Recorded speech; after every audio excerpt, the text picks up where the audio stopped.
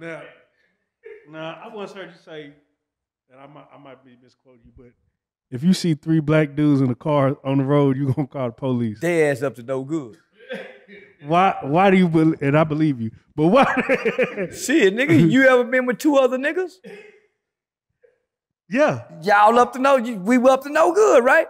Three niggas together, if they, ain't on their way to work, I- what they doing? now I always believed it was two niggas and a white boy. That's what I always. Oh, nigga, there's some sick shit going on. Two niggas and a white boy. Yeah, yeah, them two niggas fucking over that white boy. Yeah, if it's two niggas and a white boy, that white boy might be held hostage. And they steal from him. Yeah, one of them fucking his sister and one of them want to fuck his mama. Uh, yeah, yeah, yeah, that, they, we already know how that combination is. That white boy is a victim. Yeah, two niggas and a white boy, think that, nigga, that's an automatic victim. He ain't got no say so and nothing, by nothing. Yeah, yeah, no, he got, yeah, yeah, no. I got a, I, I got a. Are you a conspiracy theorist? Nah, I don't believe shit. So- yeah, I think everybody live them conspiracies. So what? How would they know? Yeah, how would we? We the poorest motherfuckers on. We the we we the lowest motherfuckers in society. Get, get the information last. Yeah, yeah, nigga, we is. All of us that know conspiracy theories, homie, we at the lowest level of the socio-economic totem pole in the world it is, nigga. How we know any goddamn thing? I, man, I, you know, this is me because I, I this has always been my theory, and I'm gonna.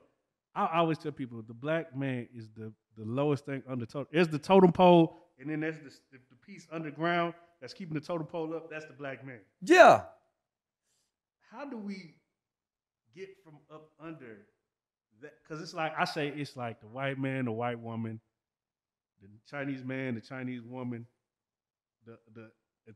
the Nah, for real. The uh, Mexican man, the Mexican woman, the black woman, dogs and cats, I was just about, yeah, I was just about to say the Dog white, yeah, cats. dogs and cats. and, the thing, Oh. and everything in the air, and, Yeah, and then the black man.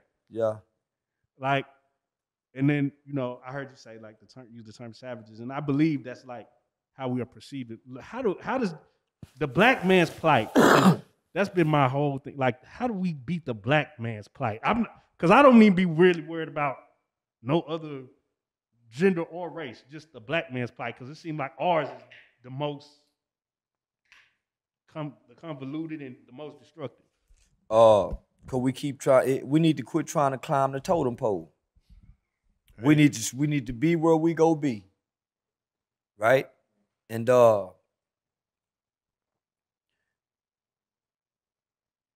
we can snatch the bottom from up under them because we at the bottom. Right, we are the bottom. Uh, everything is built on our backs. Uh, we are the spoils of wars. Right. If, if China was to, if, if, if America and China was to have a war, and and and and and, and China beat America, uh, nigga, we're part of that debt that they would cash in on. Yeah. Yeah, we like the resource. Well, give us them niggas. Man, y'all can't have our niggas. Man, y'all can have our economic system. Y'all can have Africa. But man, we ain't getting y'all our niggas. We need these niggas. Especially now. Well, uh, who's gonna make our economy turn without them? Who, who, who? They need us. Yeah. The largest, he, he just said it, we the largest consumers on earth, not just in America, on planet Earth. Oh yeah. So everybody, when we walk out of our door, everybody got a basket that they're trying to sell us something out of. The Chinese, the Arabs, that's why all of their stores are at our doorsteps. Oh yeah. They ain't in nobody else's neighborhoods. We're the spoils of war. Hey, y'all, come on over here. Uh, when y'all get here, we gonna give y'all a little money where y'all can open up a store over there. And y'all can sell them whatever. So our dilemma is us at this point in America. So his question is, how do we get out of this dilemma?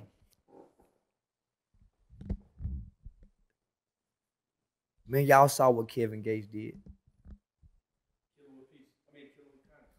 But you gotta kill your niggas with kindness. You gotta kill black people with kindness, homie. Our dilemma is us. Fuck the totem pole. Nigga, we here. And we ain't going nowhere from this bottom position.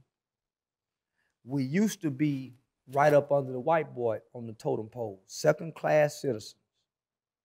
We used to be second class citizens because at one point in time it was just us, the white boy, and the Indian.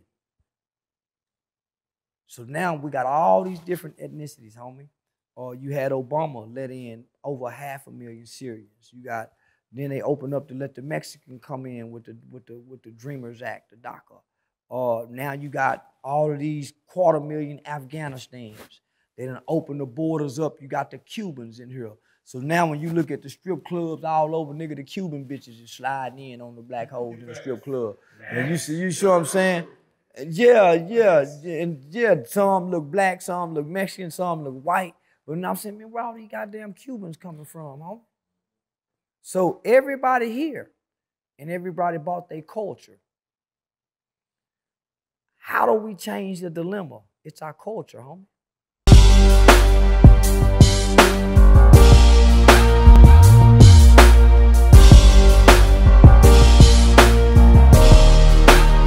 Shout out real street stars, nigga. Move. Hey.